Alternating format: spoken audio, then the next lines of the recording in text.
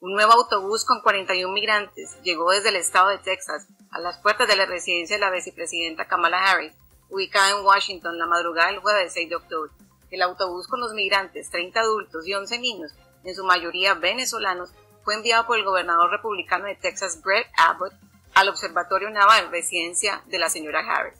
De acuerdo con la agencia de noticias EFE, las personas realizaron el viaje de 36 horas a Washington y llegaron agotados, desorientados, con poca ropa y usando sandalias debido a que al llegar a Estados Unidos los despojan de sus zapatos. El autobús de migrantes se suma a los traslados que Abbott y otros gobernadores republicanos promueven desde el pasado abril del 2022 para protestar por la política migratoria del presidente Joe Biden.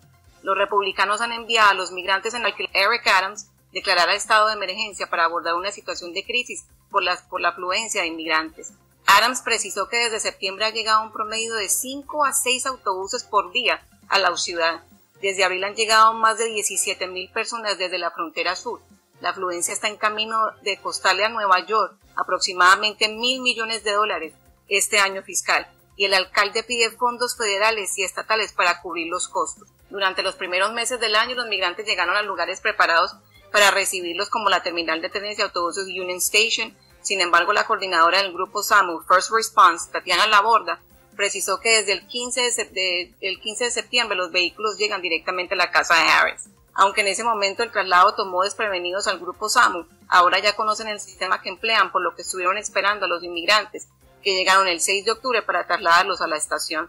De acuerdo a la, de acuerdo a la agencia de noticias, estas acciones forman parte de una campaña política que dificulta aún más el viaje de los inmigrantes pues estos son dejados en plena calle y tienen que ser trasladados luego a las estaciones para darles asistencia. El 17 de septiembre el gobernador de Texas, Greg Abbott, envió un autobús con al menos 50 migrantes indocumentados a las puertas de la residencia de la vicepresidenta de Estados Unidos. En esa ocasión, la mayoría también se trata de personas provenientes de Venezuela. De acuerdo con la cadena Fox News, las organizaciones humanitarias atendieron a estas personas con alimentación y ropa y los trasladaron a albergues en Washington.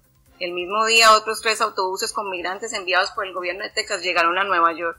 Tatiana Laborda destacó que al llegar a Union Station, los trabajadores y voluntarios de SAMU les dan a los migrantes comida y les toman los datos, que se les hace un cuestionario para saber de dónde son, a dónde van y si tienen familiares.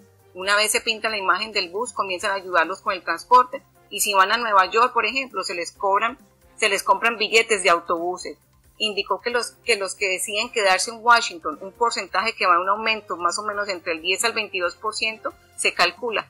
Se les deriva refugios públicos o un centro que opera la, propia SAMU con capacidad para 50 personas. La borda han atendido a unos 3.830 personas, sin contar a los que llegaron este 6 de octubre y a los que llegaron el día anterior procedentes de Arizona.